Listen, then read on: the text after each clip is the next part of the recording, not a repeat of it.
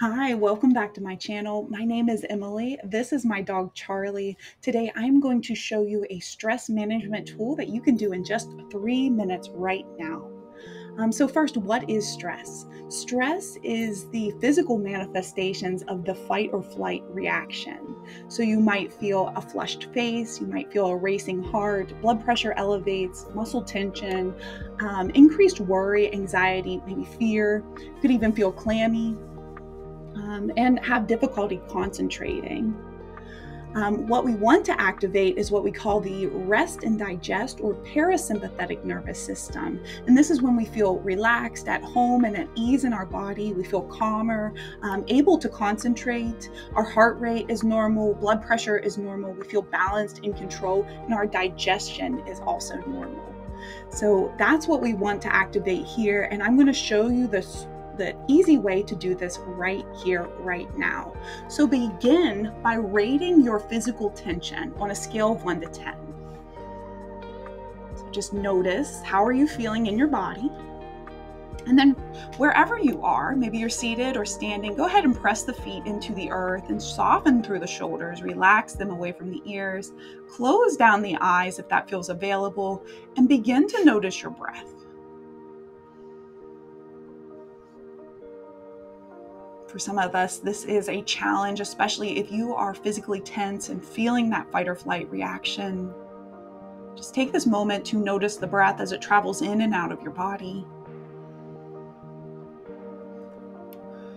And if your eyes were closed, go ahead and open your eyes. I'm going to start by drawing the shoulders up towards the ears, maybe scrunch the skin of the face. Really squeeze here and then drop it all down, let it go. Two more times, draw the shoulders up towards the ears, scrunch the skin of the face. Maybe even make fist here and draw the fist towards the shoulders. Drop it down, let it all go. Last time, inhale, squeeze and scrunch. Exhale, let it go, release that. Nice, and keep that movement with the arms. Go ahead and just start to shake one arm here. Get a little silly. Relax through that muscle, the muscles of the arms.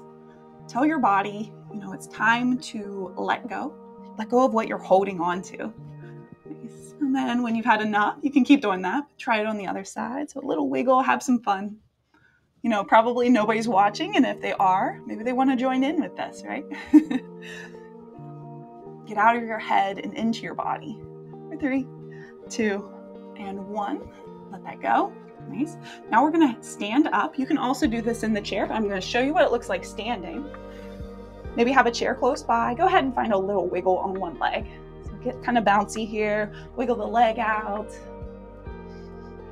Nice. Again, have fun. You know, we just love to get in our heads, right? Can you get out of your head for a moment? Just allow yourself to get a little silly. Try it on the other side. Both legs wiggling.